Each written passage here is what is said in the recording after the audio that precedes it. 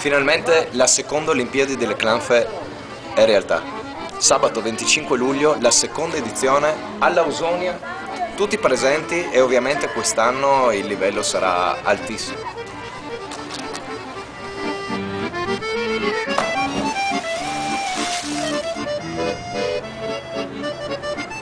Che avanzata!